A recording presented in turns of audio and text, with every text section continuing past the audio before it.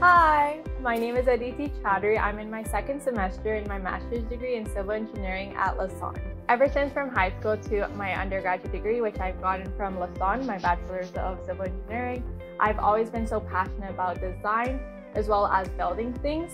So I was a part of many clubs as well as competitions, including the bridge competitions, which involves a lot of building, as well as teamwork, which I just love to do. During my final years of my undergraduate studies, I got the opportunity to be a research assistant. So I was able to work with um, PhD students under really cool experiments in the lab.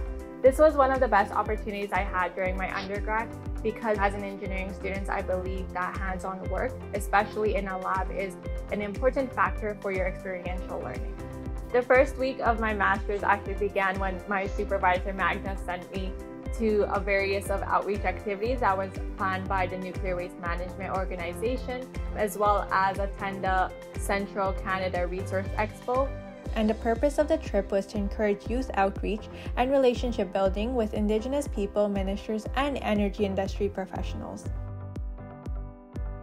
This was my first trip actually traveling all by myself to a new place I've never been to, along with a few graduate students from other universities. It has been an encouraging start to my graduate studies this trip, where it represented that knowledge is not only to be in lectures and textbooks, it's also in the outdoors, which is important in your experiential learning.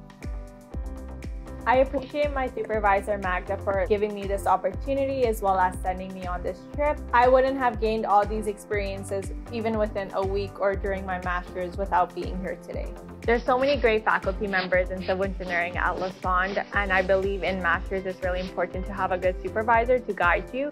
My supervisor, who is Professor Magdalena Krol, she's been an amazing mentor as well has supported me in so many ways in my educational journey as well as my personal growth. I have never thought about actually doing graduate studies during my undergrad.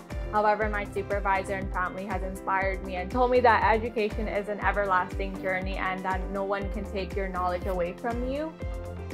The advice that I would give to someone wanting to pursue graduate studies is to be always open minded as well as take any opportunities that you are given. I believe that graduate studies can open many doors to different opportunities and lead to fulfilling experiences as well.